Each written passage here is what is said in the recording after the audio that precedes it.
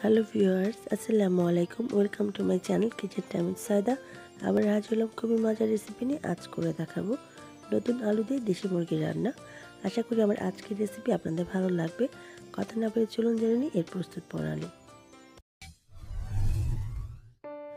নতুন আলু দিয়ে দেশি মুরগি রান্না করার জন্য এখানে আমি একটা মুরগি খুব ভালোভাবে কেটে ধুয়ে নিয়েছি। আর লাগবে এক কেজি পরিমাণ নতুন আলু।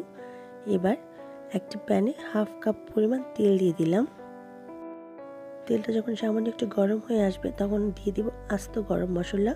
এখানে আমি দুইটা তেজপাতা, দুই টুকরো দারচিনি আর দুটো এলাচ দিয়েছি।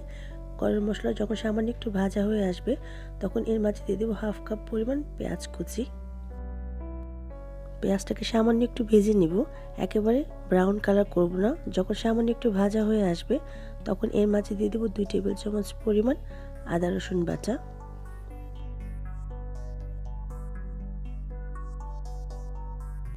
এবার আদা, রসুন আর পেঁয়াজটাকে খুব ভালোভাবে কষিয়ে নেব।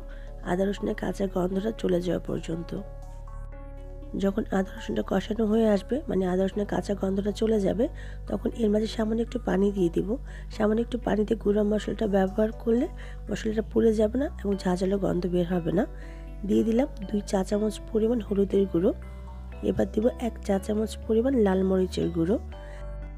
আপনি যদি ঝাল বেশি খান, তাহলে মরিচের পরিমাণটা সামান্য একটু বাড়িয়ে দিতে পারেন আর কম খেলে মরিচের পরিমাণটা কমিয়ে দিতে পারেন।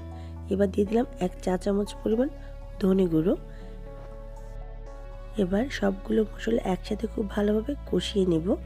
এখানে আমি লবণ দিতে ভুলে গিয়েছিলাম। এবার আমি স্বাদ অনুযায়ী লবণ দিয়ে দিলাম। এখানে আমি দেড় চা চামচ পরিমাণ লবণ দিয়েছি। আপনি আপনার স্বাদ অনুযায়ী অ্যাডজাস্ট করে নেবেন।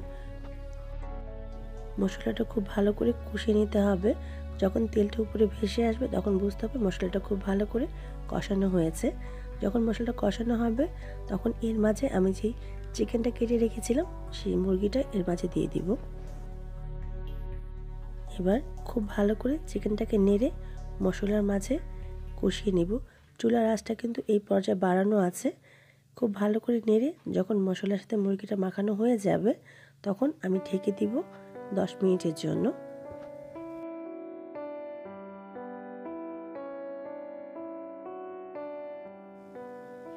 ফিরে এলাম দশ মিনিট পরে। এর মাঝে আমি একবার নেড়ে দিয়েছিলাম, আর মুরগি থেকে অনেকখানি পানি উঠেছে। এই পানিতেই মুরগিটা খুব ভালো করে কষানো হয়ে যাবে। একটু পরপর নেড়ে দিতে হবে, আর খেয়াল রাখতে হবে মুরগিটা যেন নিচে লেগে না যায়। এবার এর মাঝে আমি একটা পাকা টমেটো কেটে দিয়ে দিব। পাকা টমেটো দেওয়ার জন্য তরকারির কালারটা অনেক সুন্দর হবে, ঝোলটাও অনেক ঘন হয়ে আসবে, খেতেও অনেক ভালো লাগবে। আবারও খুব ভালো করে নেড়ে মিশিয়ে নেব।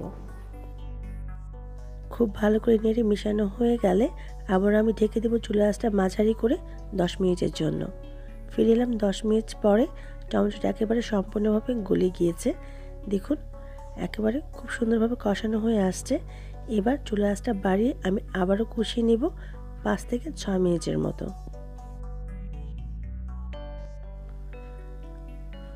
পাঁচ থেকে ছয় মিনিট আমি কষিয়ে নিয়েছি। মাংস যত বেশি কষানো হবে, তার টেস্ট কিন্তু ততটাই ভালো আসবে। সেই জন্য চেষ্টা করুন খুব ভালো করে মাংসটা কষিয়ে নেওয়ার জন্য। এবার এর মাঝে আমি কেটে রাখা আলুগুলো দিয়ে দিব।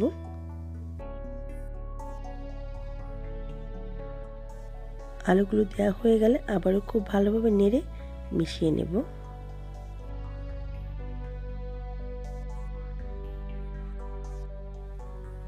খুব ভালো করে যখন আলুটা মুরগির সাথে মেশানো হয়ে যাবে, তখন আমি এখানে ঝোল দিব।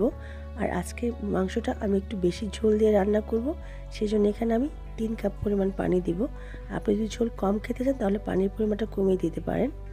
আবার খুব ভালোভাবে নেড়ে ঢেকে দিব বিশ মিনিটের জন্য। এই পর্যায়ে চুলার আঁচটা মাঝারি থাকবে। ফিরে এলাম বিশ মিনিট পরে। আবারও খুব ভালো করে নেড়ে মিশিয়ে নিব। এবার এর মাঝে দিয়ে দিব এক চা চামচ পরিমাণ টালা জিরার গুঁড়ো। এই টালা জিরার গুঁড়োটা দেওয়ার জন্য খুব সুন্দর একটা ফ্লেভার আসবে। এবার দিয়ে দেবো পাঁচ ছয়টা আস্ত কাঁচামরিচ। আমি ফ্লেভারের জন্য দিচ্ছি, আপনি ঝাল বেশি খেলে মরিচটা কেটে দিতে পারেন। খুব ভালো করে নেড়ে মিশিয়ে নেব এবং ঢেকে দিব দশ মিনিটের জন্য। চুলা আঁচটা কিন্তু মাঝারি থাকবে। ফিরে এলাম দশ মিনিট পরে। আমার রান্না একেবারে পারফেক্টভাবে হয়ে গেছে। দেখলেন তো কত সহজে তৈরি হয়ে গেল, খুবই মজার। নতুন আলু দিয়ে দেশি মুরগি রান্না। এবার আপনি আপনার পছন্দ মতো পরিবেশন করুন, খুবই মজার। দেশি মুরগি, নতুন আলু দিয়ে। যদি আমার রেসিপিগুলো ভালো লাগে প্লিজ ফ্রেন্ড অ্যান্ড ফ্যামিলির সাথে শেয়ার করতে ভুলে যাবেন না। আর আমার চ্যানেলকে অবশ্যই সাবস্ক্রাইব করার অনুরোধ ছিল পরবর্তী রেসিপির জন্য। আর যারা সাবস্ক্রাইব করেছেন তাদের অসংখ্য ধন্যবাদ। সবাই অনেক ভালো থাকবেন, আমার জন্য দোয়া করবেন। আবারও দেখা হবে। আল্লাহ হাফিজ।